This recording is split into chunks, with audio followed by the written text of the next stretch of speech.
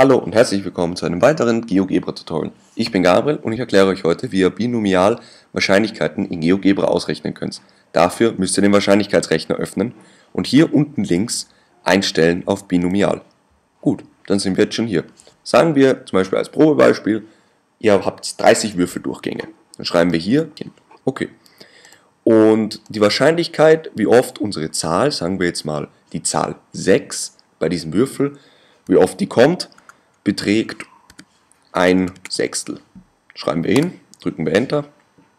Okay, dann ist es hier schon mal angezeigt.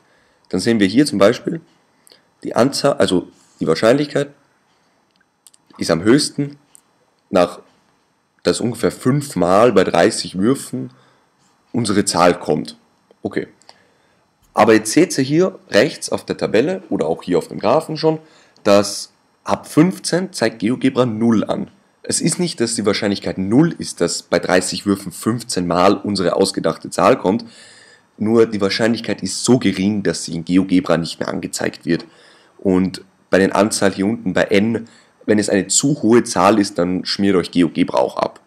Okay, und das Wichtige hier unten ist noch, die Wahrscheinlichkeit hier unten könnt ihr eingeben.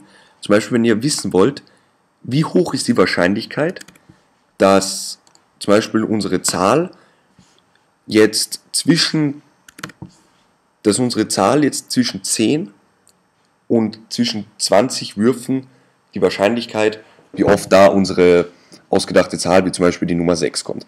Das wäre jetzt in diesem Fall 0,0197-prozentige Chance, dass zwischen 10 Würfen und 20 Würfen unsere Zahl kommt. Ähm, gut, das sind jetzt nicht 0,0197 7%, aber das ist jetzt so als Dezimalzahl eingeben.